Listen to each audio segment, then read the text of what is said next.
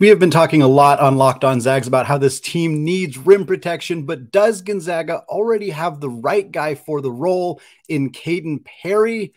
Let's discuss. You are Locked On Zags, your daily podcast on the Gonzaga Bulldogs. Part of the Locked On Podcast Network. Your team every day.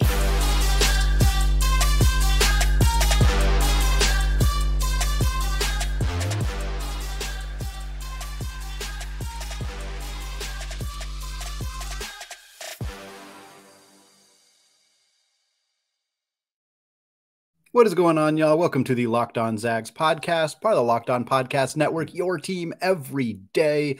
I am your host and longtime Gonzaga podcaster, Andy Patton, here to bring you news and updates on all things Zag athletics.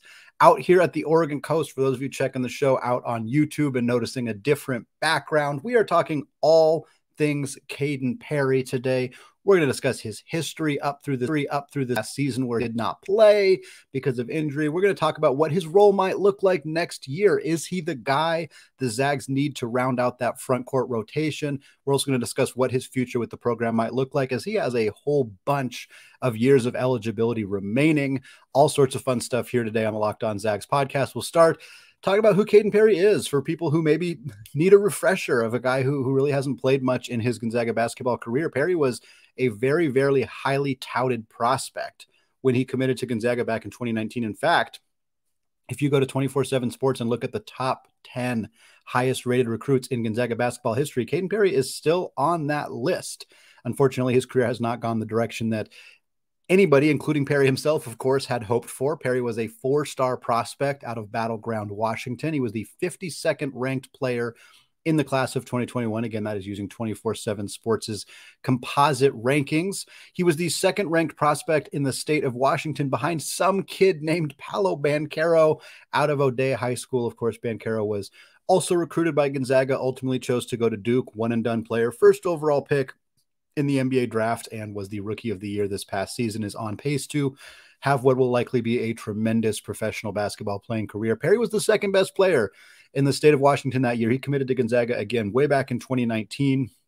He has been affiliated with this program for a very, very long time. Uh, he drew a lot of comparisons to another legendary Zag in Brandon Clarke.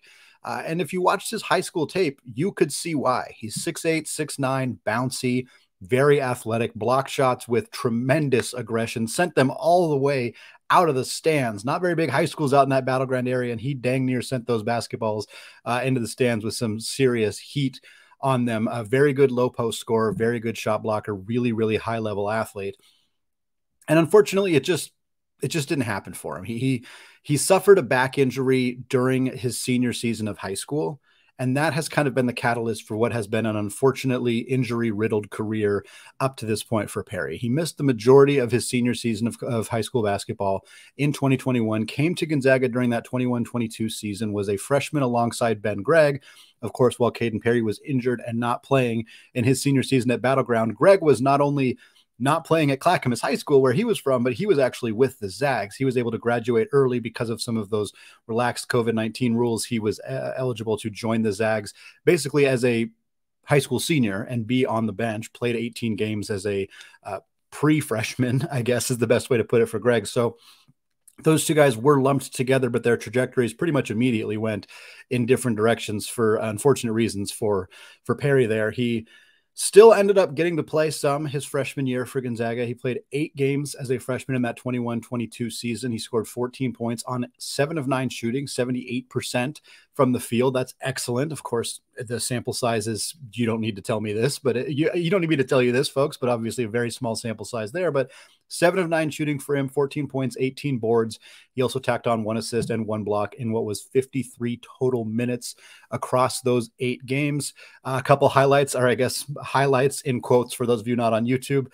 Uh, he fouled out in five minutes against Alcorn State. That was one of his, I think, his second or third career college game. He played five minutes, uh, committed a whole bunch of fouls, and I think that's kind of one of the things we saw from him in that very brief period of time is that he's very energetic, uh, very athletic, but was kind of a little out of control and and uh, you know had a hard time controlling his body. And and this is something that's really common for freshman bigs in general. Przemek Karnowski was a foul machine his freshman year. Like it's not uncommon. Perry just never really got a chance to to hasn't uh, up to this point, I should say, gotten that chance to kind of grow out of that.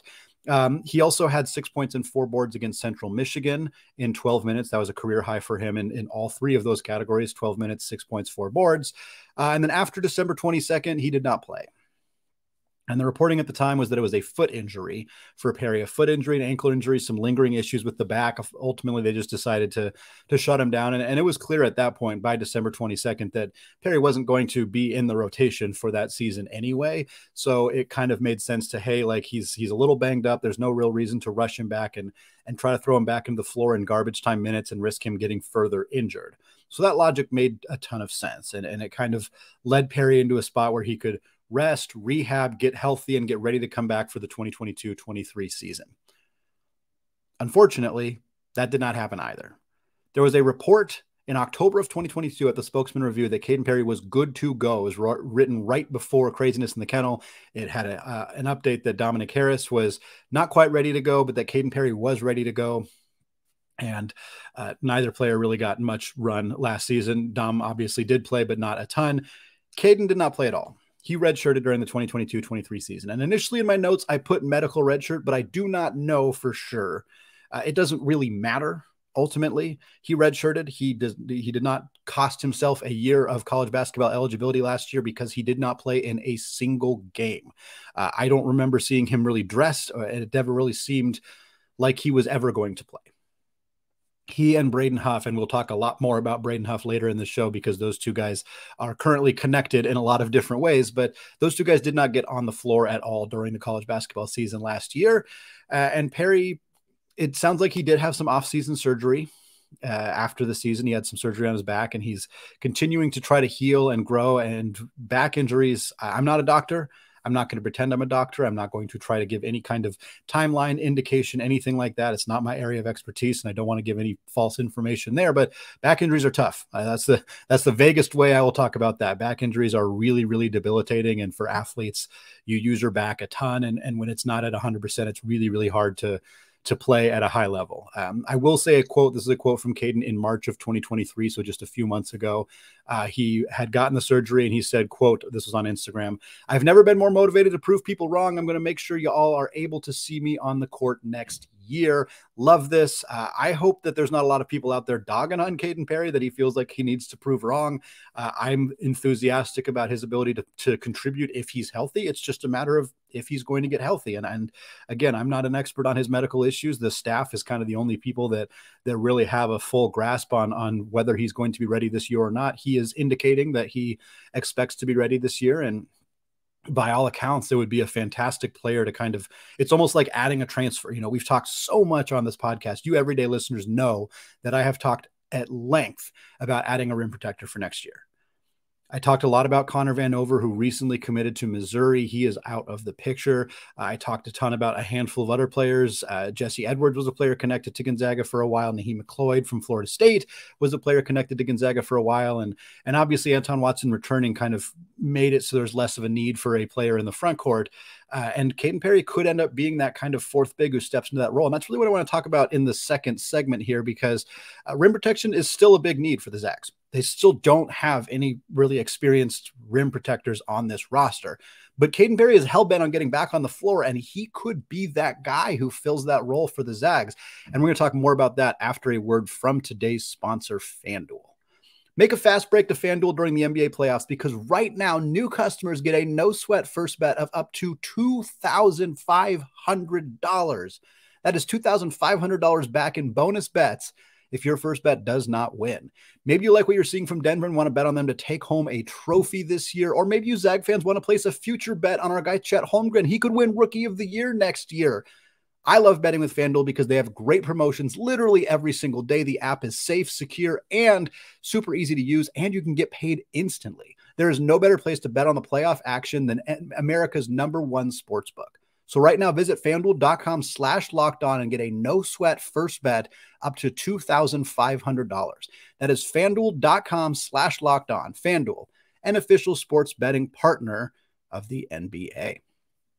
Folks, want to thank all of you for making Locked On Zags your first listen of the day. Shout out to all of those everyday listeners or everyday watchers out there on YouTube, this week on the show, we're going to continue to look at some of Gonzaga's other players on the roster, what their role might look like next season. We're going to continue to keep track of the transfer portal as it becomes relevant for Gonzaga. We're, of course, going to continue to look at Julian Strother, Drew Timme, their NBA hopes and dreams and aspirations as we see more workouts from them and more scouting reports and mock drafts and all of that good stuff leading towards that NBA draft at the end of the month.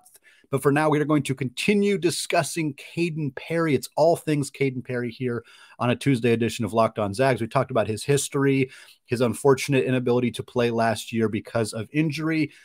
But if Kaden Perry is healthy next year, and at this point, we have to just operate under that assumption. I'm not going to sit here and spend eight minutes in this segment telling you about what would happen if Kaden Perry missed the year because of an injury, because that's just not very much fun. So let's talk about what it might look like if he's healthy and what that role might look like for him.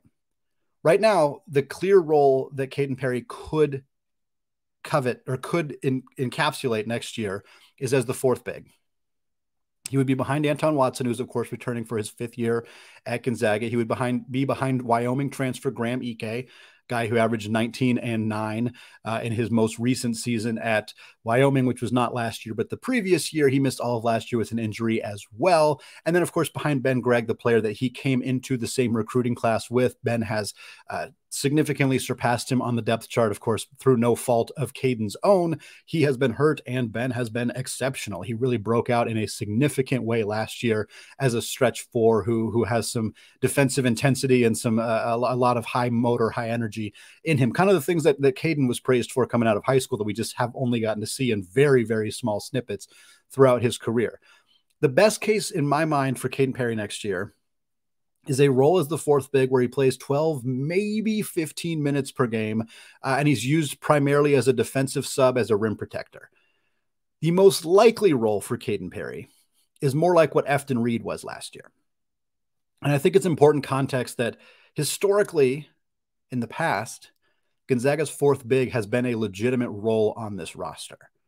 I remember Killian Tillie as a true freshman in that 2016 2017 team, the team that went, of course, to the national championship game. Killian Tillie played about 12 minutes per game. That was as the fourth big. He was behind Przemek Karnowski. He was behind Jonathan Williams. He was behind Zach Collins. Now, fourth bigs don't tend to play that much for Gonzaga. Part of that is the Drew Timme effect. Drew Timme uh, soaked up so many minutes and played so much in the last four years at Gonzaga that you didn't have a lot of room for a fourth big. When you had Drew Timme and Chet Holmgren on the same team, you just you weren't going to play your fourth guy. You were going to play those guys as much as you possibly could. And same with last year with Anton Watson's emergence and Ben Gregg's emergence, there wasn't really room for a fourth big. Hence why Efton Reid played in 25 games. So he got into pretty much every game for Gonzaga, but he played 4.6 minutes per game. And right now, it feels to me like that's more likely what the fourth big role looks like at Gonzaga. The fourth big role is probably not what it was in 2017 when Killian Tillie played 12 minutes a game. It is probably more like what Efton Reid played, where you some games you don't play at all, and some games you play just the last few minutes of garbage time. I believe that Kaden Perry could play a role as an enforcer slash fouler come into the game, play really aggressive on defense. If you pick up a couple fouls, you pick up a couple of fouls. That is okay. Uh, force the other team to think twice about driving into the paint. Basically, be a guy who protects the rim, who is physical, who's tough, who's demanding, all of that stuff. The Zags don't really have that. Chet Holmgren was an incredible, elite, all time great shot blocker. Brandon Clarke, incredible, elite, all time shot blocker. All of the same superlatives work for him. But other than that, the Zags have kind of lacked in that rim protection. Drew Timme was never a rim protector.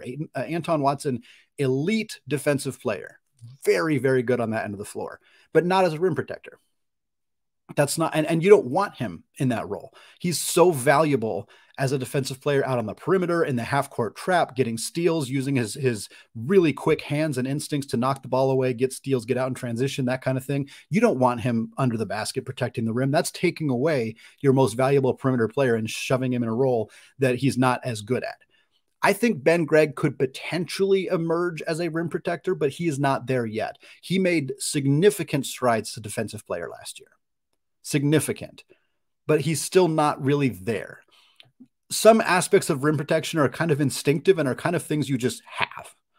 Kaden Perry, by all accounts, has that. He had it in high school. We saw glimpses of it in his 53 minutes of college basketball. The best case scenario for Kaden Perry next year is that we see more of that. Offensively, I'm not sure we're going to see much from Kaden Perry, even if we're talking about a best case scenario. I see him as being a, a, rim runner, a guy who maybe you get the ball to down on the block. Maybe he gets uh, putbacks, offensive rebounds, that kind of scoring. I don't think there's going to be a lot of set design plays for Kaden Perry. I don't think that that's really, he's more of a defensive player than an offensive player. And again, we're basing this off of high school tape and eight games of garbage time. Like there's just not a lot of data on Kaden Perry to really give us a good indication of who he is, who he can be, what he's capable of, all of that good stuff. Now, here's the thing with Kaden Perry. We're projecting him into that fourth big role, but he's got competition for that spot. And his competition comes primarily in the form of Braden Huff. Braden Huff was a redshirt last year. Redshirt freshman did not play through the entire season after coming over from Chicago, but he was Mr. Illinois out of high school. He was the best high school player in the state of Illinois before he committed to Gonzaga. Top 100 prospect, barely in the class of 2023, class of 2022, excuse me. Um, and we, I don't really know what we have in Braden Huff. I'll be perfectly honest. We've seen uh, clips of him in high school. We saw him at Craziness in the Kennel. I will say that Anton Watson has talked him up in recent press conferences or press comments. Julian Strother has talked him up in press com- conversations. I tend to not put a ton of stock into what teammates say about their teammates because they're always going to gas up their teammates. But they were not asked specifically, what do you think about Braden Huff? They were asked about the team next year, and both of them were talking about players that they're excited to see next year, players that are going to be a big part of the team next year. And they mentioned Nolan Hickman, they mentioned Ben Gregg, uh, and then they mentioned Braden Huff. And to me, while I'm not sure that that means a ton, it also doesn't mean nothing. It means something.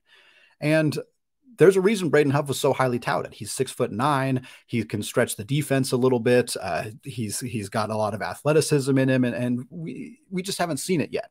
We just haven't seen it yet. The competition for those fourth big minutes between Kaden Perry and Braden Huff is going to be very, very fascinating and interesting and fun to watch for me because they're two players that we just don't know a ton about.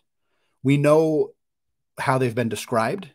We know what their high school tape looks like. We know what kind of player archetype they are expected to fill. Perry as the enforcer, rim protector, low post scorer, not an outside shooter. Huff, more of a stretch four, more of a, a kind of a guard and a big's body type of stuff. Like, but we haven't really seen either of them do it in college. We haven't seen Braden Huff play a single minute of college basketball, and Braden er, and Kaden Perry obviously only having played those 53 minutes sporadically uh, in a handful of, of garbage time minutes in the early part of two seasons ago. So there's just not a lot of data in terms of what those two guys look like. I expect that if Kaden Perry earns the fourth big role next year and Braden Huff is the fifth big or basically not playing at all, that may spell the end of his tenure in Gonzaga. And I hope that's not the case. But and, and Mark Few doesn't make decisions based on that. To be clear, if, if he believes Kaden Perry is more equipped to play for this team next year, he's not going to play Braden Huff over him. He's just not. That's not who he is. That's not who he's ever been. That's not who he should be. So that kind of creates an interesting dynamic. If Huff is playing more, what does that mean for Perry? Like one of these two guys is going to be unhappy with the amount of playing time they get next year. There is just no possible way to look around it because we talked about how much the fourth big role has shrank on Gonzaga's roster, the fifth big role is just non existent. It's just not a role that exists on a regular basis. Can you get garbage time minutes? Sure. Both those guys will get garbage time minutes, assuming they're healthy next year. But there's not necessarily a ton more outside of that really available to either of these players.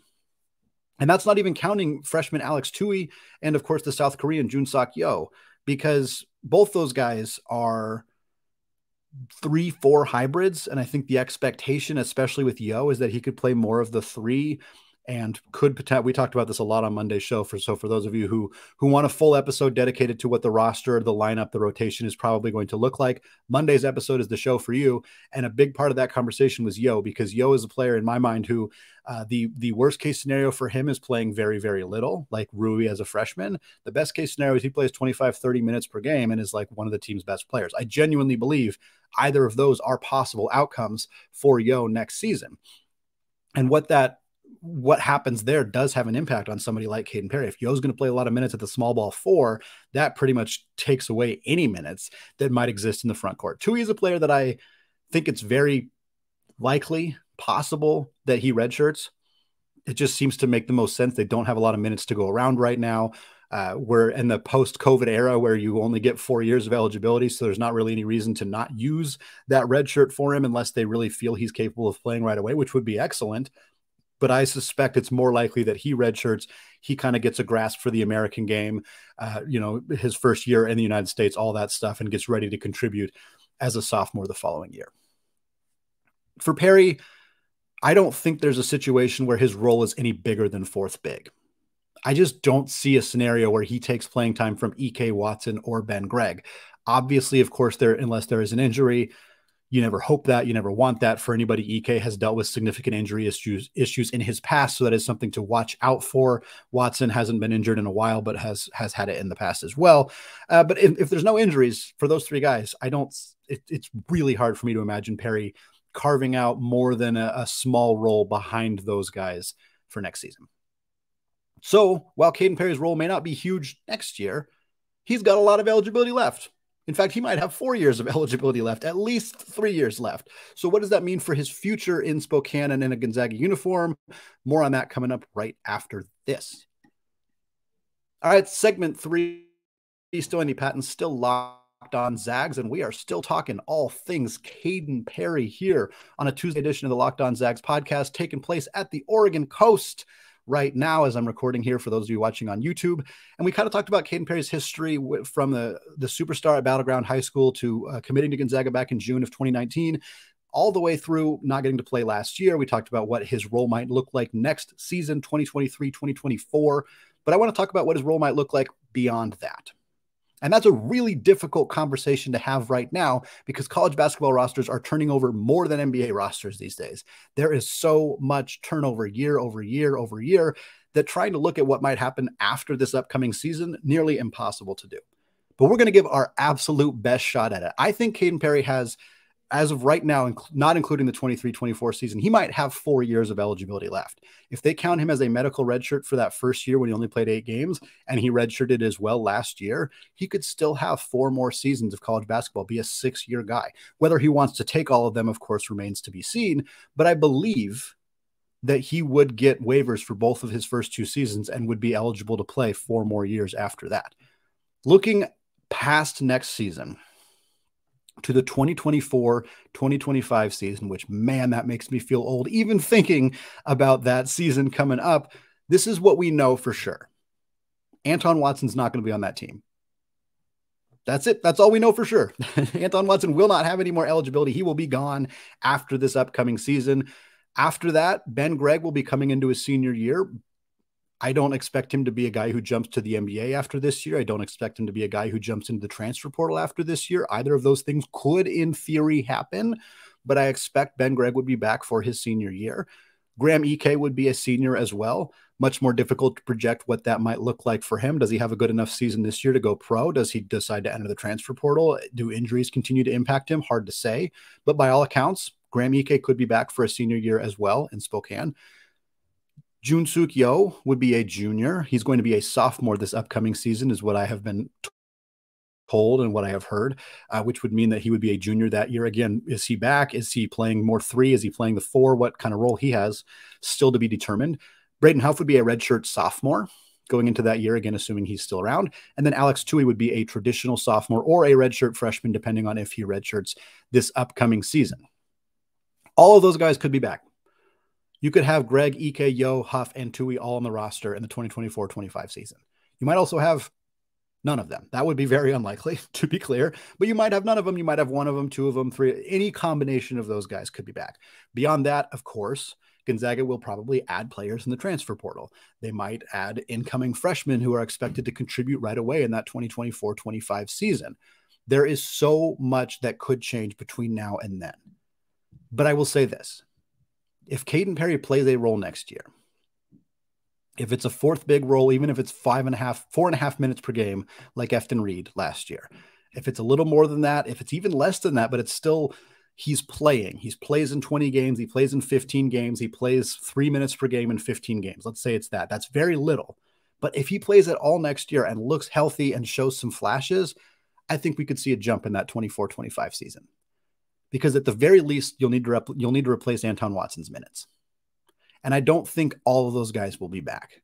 I don't know exactly what the combination would be, but if Yeo and Toohey are both traditionally playing the three and Watson's gone, you have Gregg, Ike, and Huff all mixed into playing time there. If Perry looks better than any of those guys, he could be uh, not necessarily, I'd be kind of surprised if he stepped into a starting role, uh, unless he does some really tremendous stuff this upcoming season, but you never know.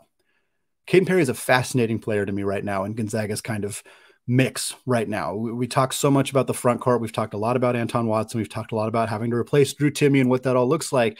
But but Kaden Perry's upside is such that he could be a player who contributes next year and really blossoms into a, a big time player in 2024 25.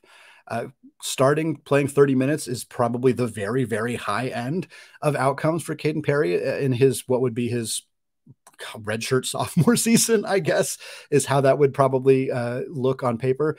But he's a guy who the upside is there, the talent is there.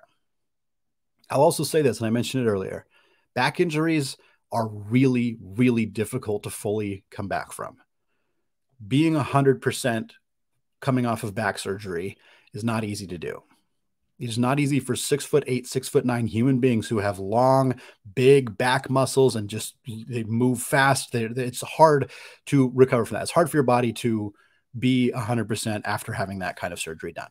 Again, don't know the full extent of what has happened to Kaden Perry and where he is at and what his rehab looks like and all that stuff. There are people who are paid a lot of money on Gonzaga's staff who deal with that kind of thing.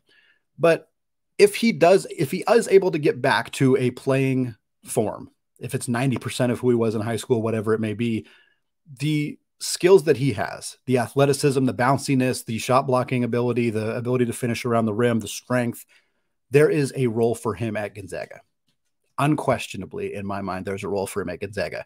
Is it a big role next year? Probably not. Could it be a bigger role in 24 25? Absolutely. I really look forward to seeing what uh, what Kaden Perry does this upcoming season. I hope sincerely that he is healthy, that he is able to play, and that he gives us good minutes. I don't think it'll be a ton, but I think it'll be a role. And I hope that we get to see him just be the basketball player that he was in high school. Have fun, bounce around, jump, be athletic, be that guy because back injuries are so debilitating. And I just sincerely hope that it's not something that forever impact. I don't, I hope Braden, uh, Braden, I hope Kaden Perry does not become a, like a huge Gonzaga what if, because at this point he is, he is a what if. What if he hadn't had that back injury? What if he, you know, what if he took minutes from Ben Gregg early on? Like what could have happened there? And, and it's a fair question but I hope he can prove us wrong next year and show, hey, I still am that guy, or I'm still even maybe not 100% that guy, but I'm close enough to being that guy that you can see why I was the top 10 recruit in Gonzaga basketball history, why I was the second best player in the state of Washington, why I had all of those accolades coming into this program. That's what I hope for Braden or for Kaden Perry. Maybe it doesn't happen this year, maybe it's the year after that, but heck, he's been patient enough. Maybe he's got to wait one more year, but man, the, the results could be really, really epic uh, if he puts it all together. All right, that is going to do it for us today. We got more fun stuff like this coming up. We'll talk more about Braden Huff. We'll talk more about Dusty Stromer, Alex Toohey, those new guys coming in, the guys who are maybe on the peripheries of being rotation players next season, what all of that might look like for next season right here on the Locked On Zags podcast. It is available wherever you get your podcast. It is also available on YouTube. Go hit that subscribe button there if you have not done so yet. More fun stuff coming your way later this week. For now, though, go Zags.